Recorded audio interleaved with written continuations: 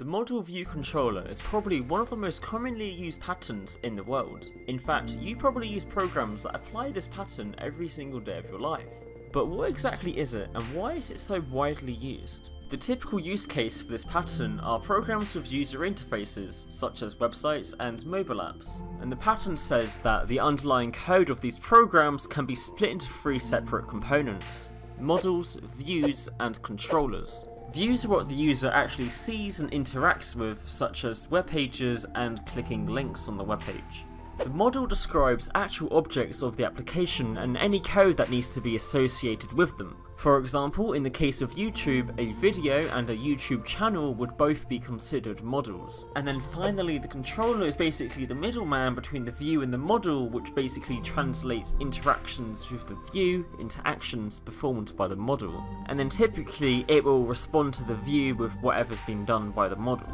And the reason why this pattern is used is for the separation of concerns. In other words, it's a way to separate your software components into parts that only do a single thing.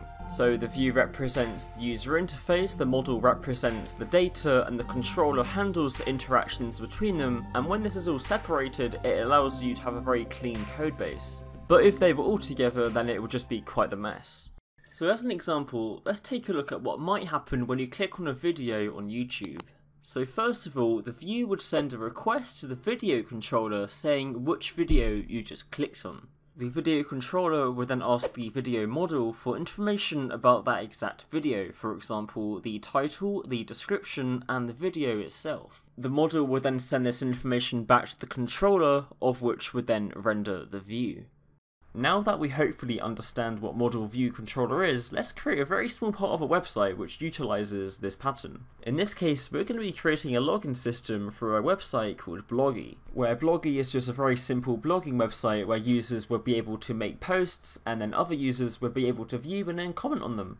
And from this, we can see that Bloggy would have at least three entities, which would be posts, comments, and users all of which would have their own individual model and controller as well as multiple views.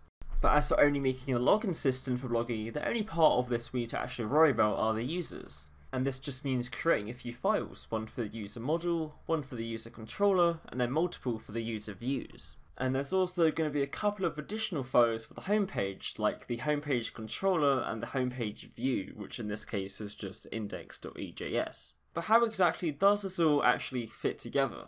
Let's take a look. The first thing that will happen when a user enters the website is they'll be taken to the home page. But how this works from the MVC pattern is a little bit more different than just serving them the home page. As this is a website, the first thing it will do is look at the web address and recognize where the user is. It will then select an appropriate controller to use based on the web address. In this case, there's nothing actually there, so it's just going to use the home controller. And then finally, the home controller will render the home page, making it visible to the user. That might seem weirdly complicated for something as simple as serving the homepage, so let's actually look at a different example, like the user signing up to the website. The first thing that's going to happen is the user is going to click on the button that takes them to the sign up page. In this case, it's an anchor element which takes them to the page users sign up. Like with the home page, it's going to look at the web address and select the appropriate controller based on that. In this case, it's going to select the user's controller as that is the first part of the address. Inside of the user's controller, it's going to look at the web address again and then select the appropriate action based on this. In this case, it is get sign up, so it's going to select that action, which was just going to render the sign up page. On this page, the user is going to enter their details into a form and then press the sign up button. This page where the user is entering their details would be part of the user views. In this case, they're entering information into a form which has the action of users sign up, only this time it's a post request rather than a get request. As you've probably already worked out, this is going to end up using the user's controller again, only this time it's going to be using this action instead because it's a post request for users sign up. Unlike the other actions that we've looked at so far, this one actually deals with some data, and so it's going to be using the user's model to actually deal with the data. As this is the data for the user signing up to the website, the first thing it's going to do is check if a user with that email address already exists, and if they do not, then it will actually create the user. In both cases of this, checking if the user exists and also creating the user, it's going to be using the user model. And this is the sort of thing that the models are exactly for. It sort of acts as an interface between the controllers and the actual database. And that's what's happening in the two functions here. It's literally just doing a quick query to the database and then returning the result back to the controller, which then redirects the user back to the homepage, only this time it's welcoming the user to the website. So anyways, to quickly recap on that, first of all, the user entered their data into a form, and when they press submit, it sent that data to the user's controller, and then the user's controller queried the user model to create the new user. And then finally, the user controller just rendered the home page. To reiterate, the view is what the user interacted with, the controller then sent that data to the model, and then finally, the model actually did something with that data, in this case, created the user. The user, of course, will also be able to log out and then log back in again, but as a challenge, I'll leave that to you to figure out how that works using the MVC pattern.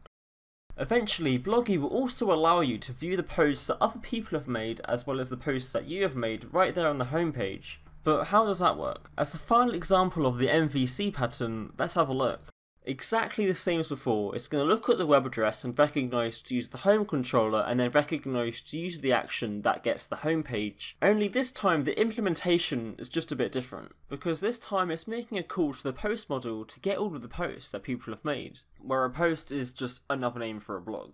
Inside of the post model, the all function gets all the posts in the database and then loops through them all, attaching the user to them. And this is because, as you can see on the left there, the posts themselves only store the ID of the user rather than the entire user. And this is because, for example, if the user changes their name, then the resultant data of the post will still be accurate. So then finally, the posts are then returned back to the home controller as sort of a JSON structure that looks something like this of which contains all of the information needed about the blog posts to actually render them onto the views.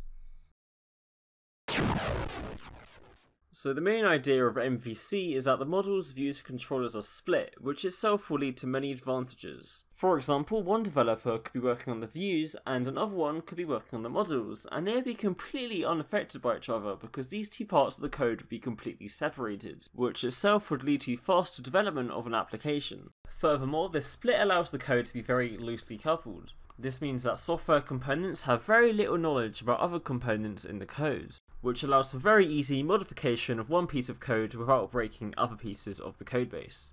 Unfortunately, the MVC model does not come without its disadvantages as well. First of all, the amount of files needed to get anything done is quite large, which makes this model quite unsuitable for smaller projects. This also has a side effect that the code navigation becomes quite difficult. This is because there's so many files and so much code that finding something very specific might take a little while. And finally, in order to actually use the MVC pattern, you need quite a bit of prior knowledge of other technologies in order to actually use it effectively. For example, even in the case of a simple website, you're going to need to know quite a bit about HTTP, amongst other things such as databases, HTML, CSS, and sometimes maybe even JavaScript. But saying that, many MVC frameworks such as Ruby on Rails have things like code generation. For example, with a simple command, you're able to generate models, views, and controllers. And furthermore, things like modern text editors have very good search functionality, which makes quite a lot of these disadvantages not so big of a deal. So overall, I think the advantages definitely do weigh out the disadvantages, making the MVC model a very solid pattern to use for a large number of applications.